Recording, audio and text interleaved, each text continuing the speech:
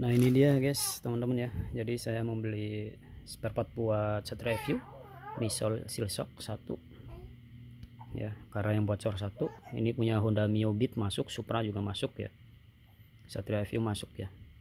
Untuk kampas remnya juga banyak ya. Ini buat Satria View masuk Supra X juga masuk nih ada tulisannya ya. FU dan satu Supra X 125 ya. Ini yang belakang.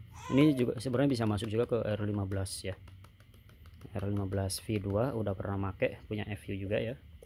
Kemudian ini untuk Dix belakang Dix depannya ya. Punya Supra X125 ya. Kemudian bisa dipakai buat sadar FU bagian depan ya. Kemudian ini adalah pelampungnya ya guys ya. Ini saya ambil punya Mokini ya. Sengaja enggak ngambil lokalnya saya pengen tahu kualitas merek lain kayak apa ya. Di sini ada resistor-resistor sama ya ada komponen resistor ya.